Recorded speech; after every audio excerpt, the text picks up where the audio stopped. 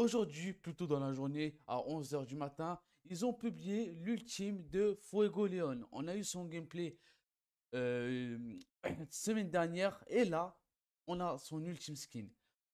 On va pouvoir parler un peu de théorie des persos qui comptent sortir sur les premiers portails parce que réellement, on sera pas du tout, mais pas du tout déçu sortie de jeu. Vu que pour le moment, ils ont prévu 4 unités, 4 SSR pour le lancement du jeu. Enfin, selon moi, 4 personnages. Je me présente Kaku pour ceux qui ne me connaissent pas encore. On démarre de suite. Coucou tout le monde, on est, euh, dans une chambre pas du tout mais on s'en fout, on s'en fout. Euh, on regarde la petite animation sur euh, la compétence ultime de Fuego Leon.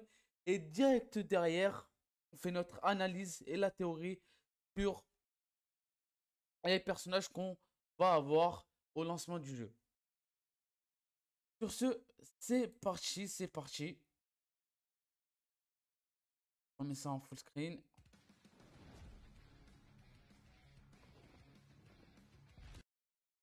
On va décaler sur YouTube. La qualité a été réduite. On va juste décaler ici. Là plutôt. Voilà, voilà, c'est là. Et voilà.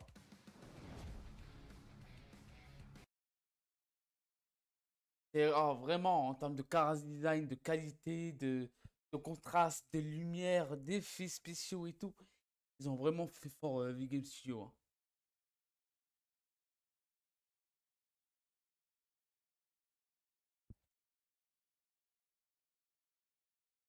Ok. première analyse que qu'on voit là directement, c'est pas la salamandre qu'on voit comme je l'ai euh, écrit ici. C'est euh, la première version de Fuego Leon et surtout, ce sera pas un perso festival. Ça confirme bien un portail euh, avec Nozel, Yami et Vengeance, ou sinon deux portails distincts, un avec Nozel et Fuego Leon, et, l'autre avec Vengeance et Yami. Pourquoi je dis il y aura deux portails distincts C'est parce que ça fait surtout référence à ce tweet-là. On tourne dessus. Vous allez comprendre, en fait, j'avais fait un petit tweet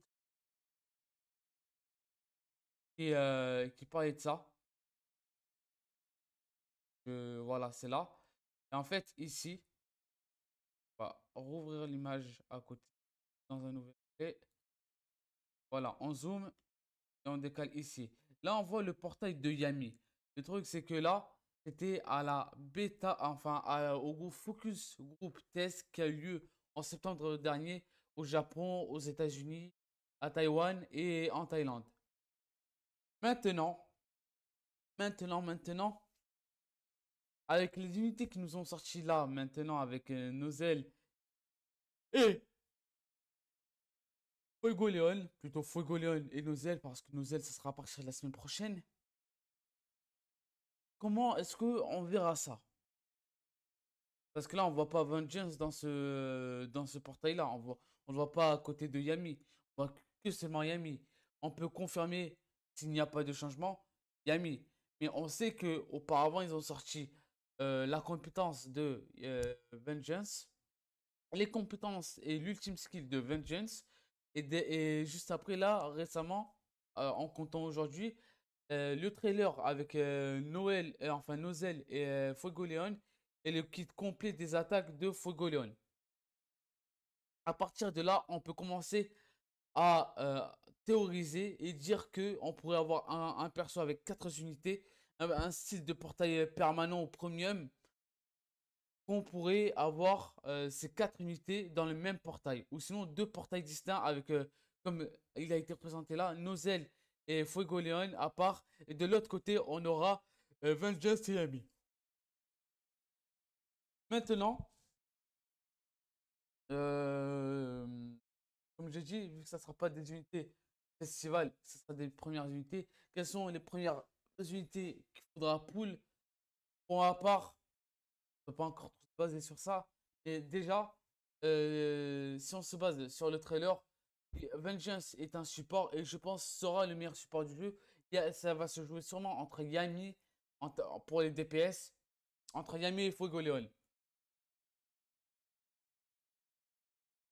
Maintenant, le kit de Yami, pour moi, est plus intéressant que celui de Fuego Leon, même si les animations des attaques de Fuego Leon sont plus belles. On verra comment, euh, on, verra en termes de DPS au moment où le jeu sortira. Ils vont nous proposer déjà comme portail. Euh, et on verra euh, si on a ce système de reroll, si on aura par la suite également des invocations, enfin une ou deux multi pour commencer. Et on verra ça donnera. J'espère que la vidéo vous a plu. Petit pouce bleu et abonnez-vous à la chaîne, ça me ferait énormément plaisir.